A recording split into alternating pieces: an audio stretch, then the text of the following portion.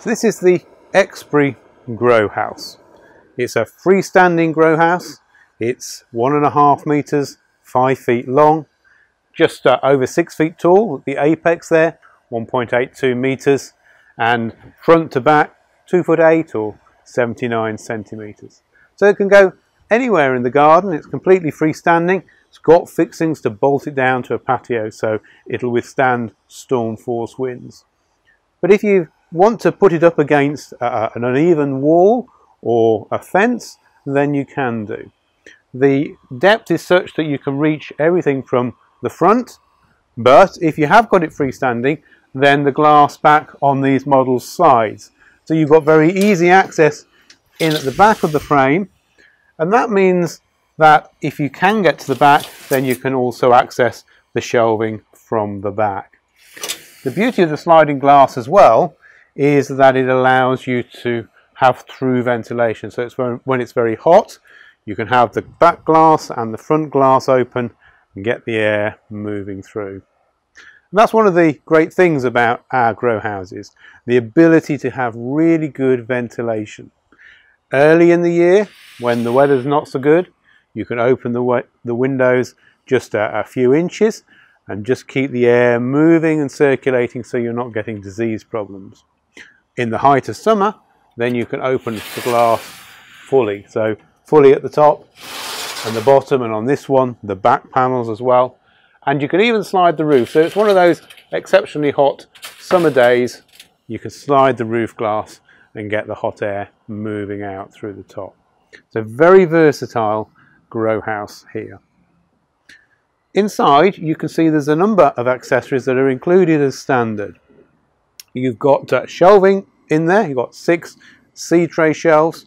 You've got a center staging and you've also got a watering system. So your shelving is designed for seed trays or for pots. We use these very slim but sturdy bars that allow the light to come down to the lower levels so you're not creating permanent shadows. They're adjustable height-wise, so there's lots of holes in the back that allow you to change the height of the shelving. And if you don't want to use the shelves, then this one at the bottom has been dropped flat against the back. So you can put it out of the way, giving you more depth in the grow house. The centre staging is toughened safety glass. It's very, very strong. We rate each pane at 25 kilos. That's an awful lot of plants on there.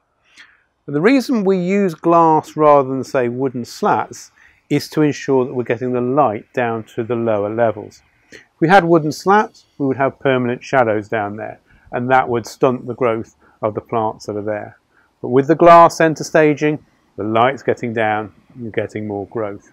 But if you want to, you can remove the glass to allow plants to grow at full height.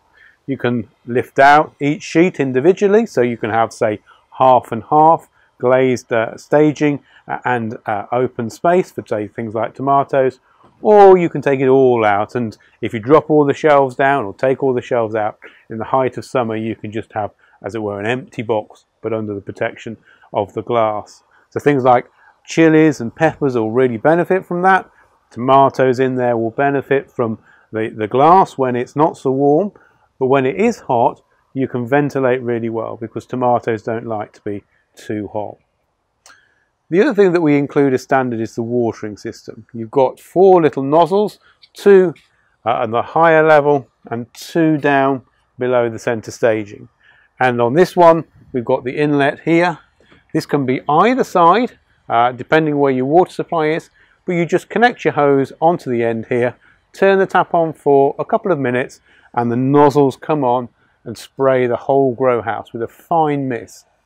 And if you go away, what you can do is add a timer onto your tap and then have it pre-programmed to come on in the morning, water the plants, uh, and then everything set up for the day. And talking about going away, if you want to, you can also add an automatic vent into the grow house. Normally this would be at this end here, we would take this pane of glass out and put the louver vent in, although you can put it on the other side if you need to, but it's a little bit more tricky to do that. The automatic louver vent will open and close on its own depending on the temperature. So you have an oil-filled piston that uh, senses the temperature. It's a plant oil, so there's nothing uh, nasty about it. But as it expands, it opens up the, uh, the slats on the vent uh, and then the air flows through. And then it, when it cools in the, in, the, in the evening time, then the vent will close itself. So very useful accessory, not just for when you're away, but if this is in the sun, early in the springtime, you're going to want the doors all shut during the night because it might be cold. But in uh, sort of late April, early May, the sun's coming up at say five or six in the morning. If the sun's on it, it'll warm up quite quickly. So the vent is really useful then, opens up, ventilates the frame while you're still in bed.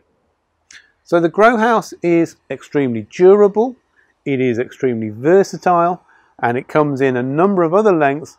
This is the five foot, but we do a six foot five and a, a three foot four version as well.